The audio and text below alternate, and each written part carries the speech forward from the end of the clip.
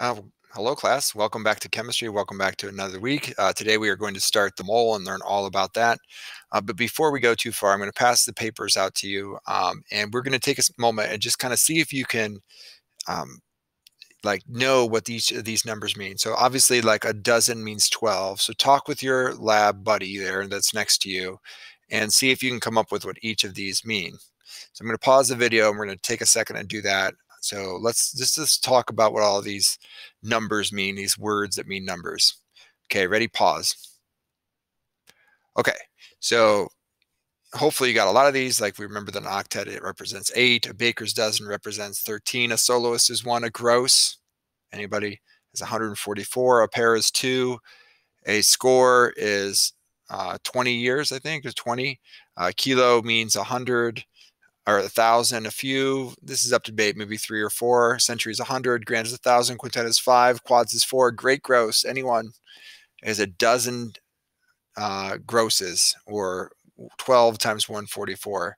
So those are all um, different words that mean units. And today what we're going to do is we're going to kind of explore how the mole um, is a way of counting things and how a mole is, is how we kind of view things in chemistry. So we always say if you don't know what to do in chemistry, just randomly find moles and usually you are correct. Okay, so by definition, the mole, abbreviated MOL, which is perhaps the worst abbreviation of all time, but when you think about it, like M is meters, you can't really have that one. MO is molybdenum, so like MOL is what we have left. So if you want, you could just write the whole thing out MOLE, or you can abbreviate it MOL. So by definition, the mole is the SI unit for the amount of stuff. Okay, it's how many substances, it's the number of the substance in one mole. It's how chemists count things.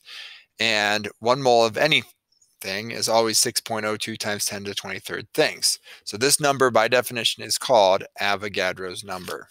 So by definition, whoops, by definition, I don't need that right now. One mole is equal to 6.02 times 10 to the 23rd. So one mole of an element would be 6.02 times 10 to the 23rd atoms. So that's the thing that makes up one mole of an element. Elements are made of atoms, and then 6.02 times 10 to the 23rd molecules would be for a compound or formula units or other things that we call, call you know, things that are bonded together. So by definition, a mole is the number of entities in one mole, which is 6.02 times 10 to the 23rd. So um, now this number is ginormous. If we were to write this number out, and I think it's probably important, so I'm going to have you try. I might even pause the tape, make you write it out, but it's so 6.02 times 10 to the 23rd is actually 6020000000000. It just keeps going and going and going. It's like the Energizer Bunny. Let's see, 1, 2, 3, 4, 5, 6, 7, 8, 9, 10, 11, 12, 13, 14, 15, 16, 17, 18, 19, 20, 21, 22, 23. Okay, so if you keep track of things, this is the actual size of the number. So like right here is thousands, right? And this would be millions and then billions and then trillions. And then what is it like quadrillion, quintillion, and this is 602 sextillion. It's huge. Okay, it's so big look, this is such a big number that one mole of oranges, if you had a mole of oranges, would cover the Earth's surface to a depth of nine miles. This is almost silly. This is ridiculous. If you stacked one mole of notebook paper, it would take you 5,800 years traveling at the speed of light to reach the top of the stack. Come on, really? Um, if you were given a mole of dollar bills at the beginning of the universe and you immediately began spending money at the rate of $1 million per second, you would have about 19 190 billion trillion dollars left. Crazy. That's just insane.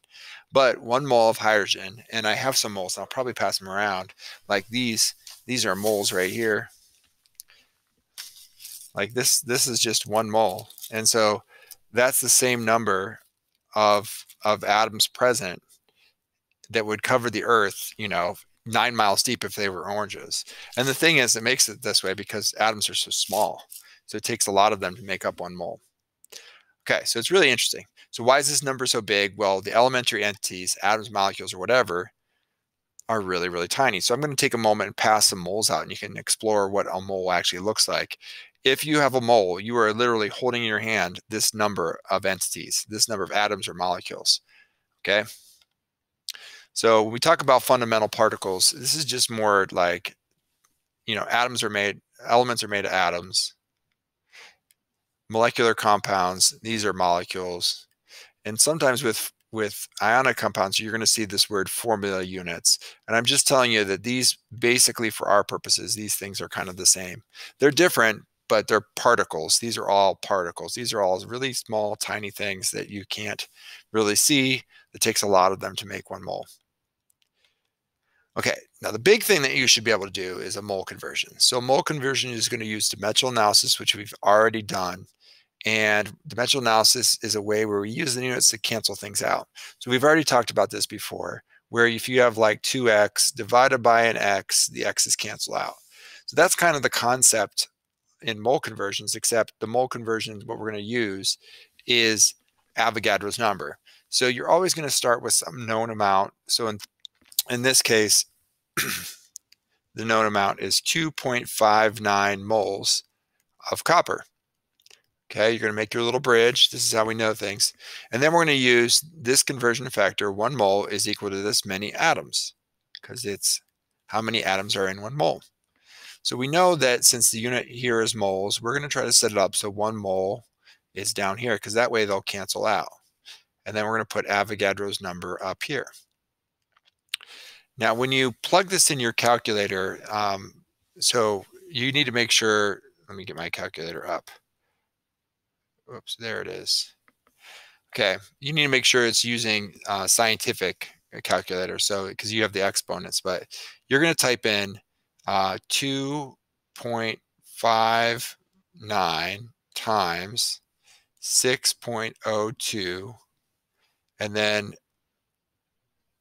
times 10 whoops no I did it wrong I'm not, I know how to use my calculator. 2.59 times 6.02 times 10 to the 23rd equals, yeah. So I would use a scientific calculator, but that's going to be 1.59 times 10 to the 20. I, you'd have to count all those zeros. So I think it's probably 23rd it would be 24 atoms present, probably. so we're going to try it with our actual calculator. Um, so we'll pause and I'll, I'll show you guys how you can actually store this number in your calculator so that it becomes really easy. This video is great. Okay, let's keep going. Um, now, sometimes you're going to run into this type of problem where you are given um, like a value and then you're going to ask like an individual thing. So the formula, like, like in H2O here, um, the two represents that there's actually two moles of hydrogen. So all the subscripts in a formula are actually saying there's two or four or one. So for example, I have two NAs, one sulfur, four oxygens. So when I ask this question of how many much how many atoms of oxygen are present in 1.5 moles of CaCO3, you're going to use this this three at some point in this problem. So let me show you how to do this one. So you're going to start with 1.5 moles of CaCO3. And then for every one mole of CaCO3, do you see how there's three moles of O? And that's just right there. It tells you. And then for every one mole of O, there's 6.02 times 10 to the 23rd atoms. So in your calculators, you would type 1.5 times 3 times Avogadro's number, and that would give you your answer, which my calculator isn't working right now. So there you go. So we'll probably pause the tape and make sure everybody gets the right answer. Okay, and this last one, let's let's totally pause the tape and let's totally make sure you get this one. So how many moles are present in this many molecules? So how do you set this one up? Okay, so it looks like this. So move this out of the way. 5.5 times 10 to the 24th molecules. And there's 6.02 times 10 to the 23rd molecules in one mole. So this time what you're going to do is you're going to divide this number by Avogadro's number and that'll give you your answer. So we'll try all these. All right, I think we're going to practice a little bit. We're going to watch a cool video that explains the mole concept and we're going to spend some time just working with our lab partners. Okay, the end.